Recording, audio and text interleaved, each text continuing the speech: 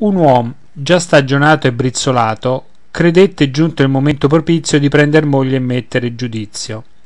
Erano molte quelle giovani ancora e belle che gli facean la corte. Ma quell'uom ch'era ricco e ancora forte prima volea veder toccar con mano. In queste cose chi va pian va sano. Due vedovelle alfin preser possesso del suo cuore di cui l'una forse un po giovane per lui e l'altra più verso l'età canonica che si teneva in prezzo ed in figura correggendo coll'arte la natura. Le vedove venivano assai spesso in casa e or quella or questa per vezzo carezzandogli la testa.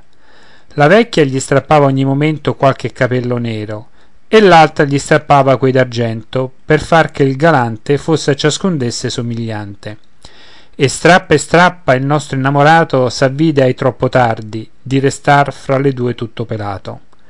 Questo egli disse è un saggio avvertimento di cui proprio vi son molto obbligato.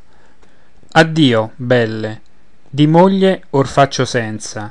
Non mi sento d'aver tanta pazienza di fare a modo suo che s'ella è trista non c'è testa pelata che resista l'uomo stagionato e le due amanti